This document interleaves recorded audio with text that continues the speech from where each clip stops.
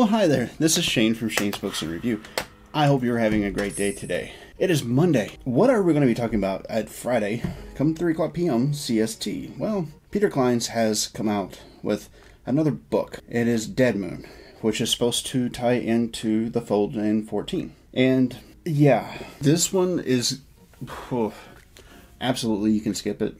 I don't recommend it. and there's reasons why. One, zombies are so overdone.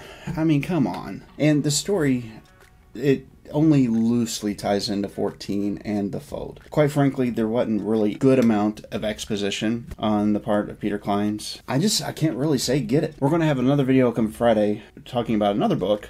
this one just doesn't warrant that much of a discussion really. I was really let down by it. The first two books I read of his that had to do with the Fold and 14, that universe, they were so well done.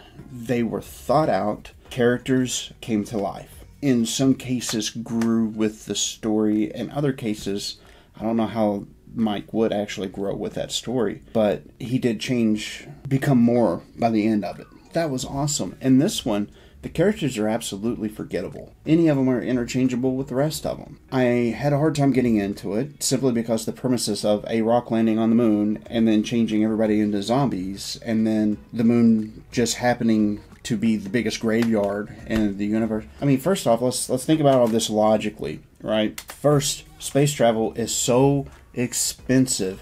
Why would there be so many bodies on the moon? They have weight. And since they have weight, then it takes X amount of money to get that weight outside of the atmosphere the technology to get them up there and the crews it would take and and and. It's very not plausible in the story whatsoever. Now granted sci-fi is usually not plausible right?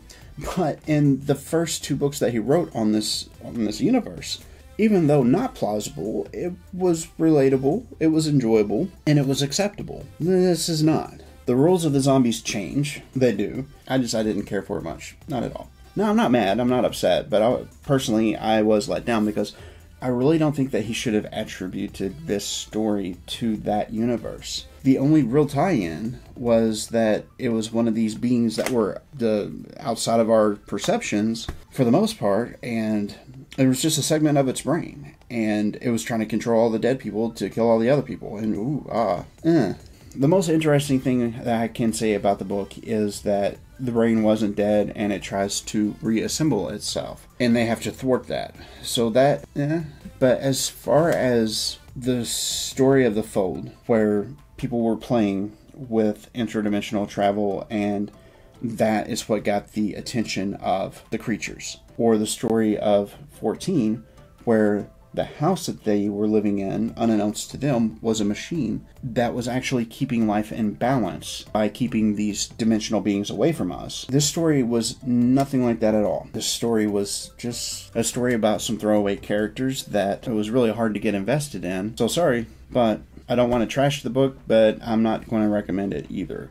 Now, if you do enjoy zombies and that sort of a thing, this book might be enjoyable for you. The writing style was the same as he had with 14 and with The Fold. To give credit where it is most certainly due, he did think the book out. He did think his characters out. But eh, it just wasn't something for me, and I really don't think it was something that you guys and gals would enjoy either, uh, unless you're a zombie fan, and then you might. Come Friday, 3 o'clock p.m. CST. I've changed my mind. We won't be talking about this book because we've already talked about it. Now we can set it to the side. Done.